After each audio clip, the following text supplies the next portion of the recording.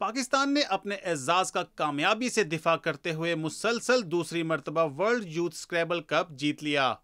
पाकिस्तान की मेजबानी में खेला गया online Vespa world youth scrabble cup Pakistan के 16 साल अली सलमान ने जीता। पॉइंट्स की बुनियाद पर भारतीय खिलाड़ी मधुव कामत ने दूसरी और पाकिस्तान ही के हशाम हादी खान ने तीसरी पोजीशन हासिल की। फाइनल में टॉप टेन खिलाड़ियों ने 14 गेम्स खेले।